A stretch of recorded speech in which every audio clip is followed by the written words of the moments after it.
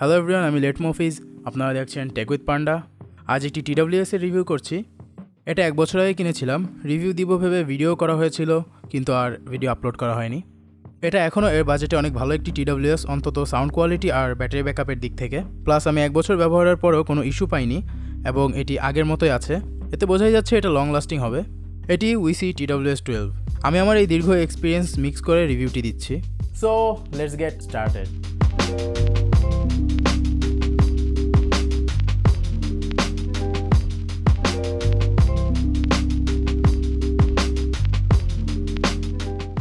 উইসিআর premium প্রোডাক্টগুলোর packaging premium হয়।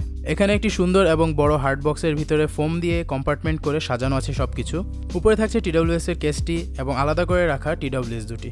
এর নিচের পোর্শনে আছে একটি মাইক্রো এসবি কেবল কয়চড়া এয়ার টিপস আর একটি ম্যানুয়াল এবং একটি ওটিজি কেসটি এবং টিডাব্লিউএস দুটি গ্লসি ব্ল্যাক কালারের গ্লসি হয় সহজেই স্ক্র্যাচ পড়ে যায়, তবে এক বছরের ব্যবহারের পরও একদম খারাপ দেখতে হয়েছে এমনও না।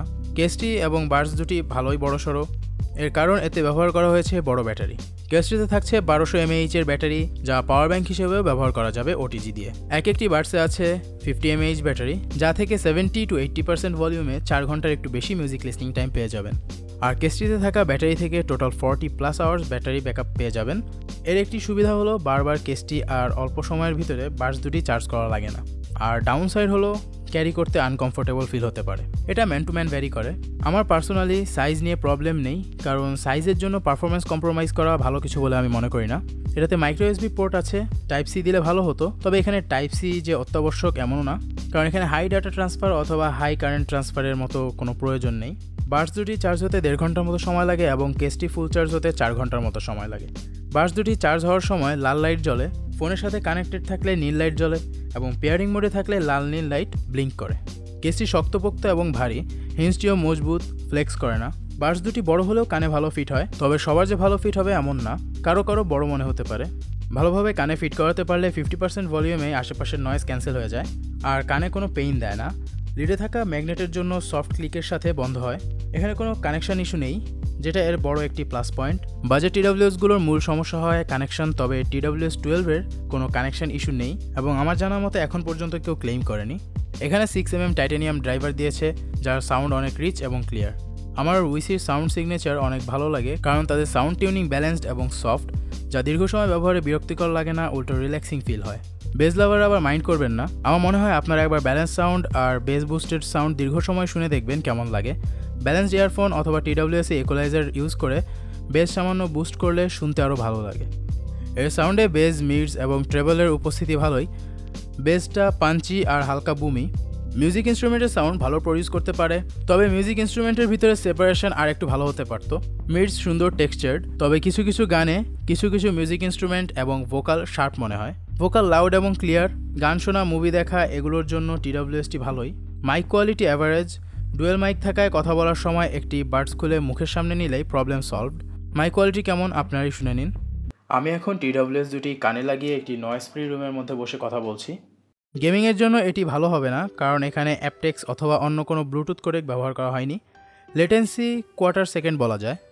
এর স্টুডিও সেপারেশন এই প্রাইসে টিডাব্লিউএসগুলোর মধ্যে ওয়ান অফ দ্য বেস্ট এখানে রিয়েল টেকের eight seven six three chip ব্যবহার করা হয়েছে, যেটা ব্লুটুথ ফাইভ যার ফলে কানেক্টিভিটি যথেষ্ট ভালো।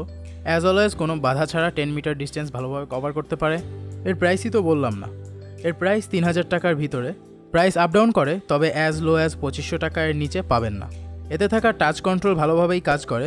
Single ট্যাপে call receive music play pause করা যায়। প্রেস করে ধরে রাখলে কল কাট হয়ে যায়, আর কলে না থাকলে অ্যাসিস্ট্যান্ট ট্রিগার হয়। ডাবল ট্যাপে নেক্সট সঙ্গে যায়। এখানে IP X six water resistant rating থাকায় এটা পরে গোসলও করতে পারবেন, টুকটাক ছেটা পানি ভালোভাবেই সয়ে নিতে পারবে, তবে পানিতে ডুবিয়ে রাখা যাবে না। এবার বলি এতে কি কি থাকলে ভালো হতো আর কি কি ভালো আছে। এতে লো লেটেন্সি আর ম্যাট ফিনিশ থাকলে ভালো হতো।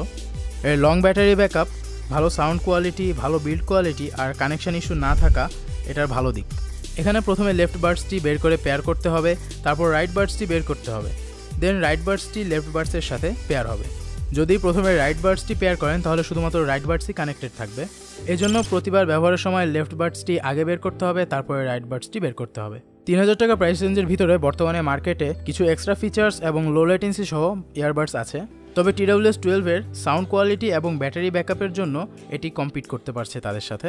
এই রেঞ্জে একটি ইয়ারবাডস ভালো সাউন্ড এবং ভালো ব্যাটারি ব্যাকআপ আর কোনো ইস্যু ছাড়া কিনতে চাইলে টিডাব্লিউএস টুয়েলভকে ট্রাই করতে পারেন। ভিডিওটি ভালো লাগুক বা না লাগুক সাবস্ক্রাইব করে দিন। আশা করি আপনাদের সাপোর্ট পেলে ভবিষ্যতে আরও ভালো করতে পারব। কিছু জানতে অথবা মতামত জানাতে কমেন্ট করুন। দেখা হবে পরবর্তী ভিডিওতে। Till then bye bye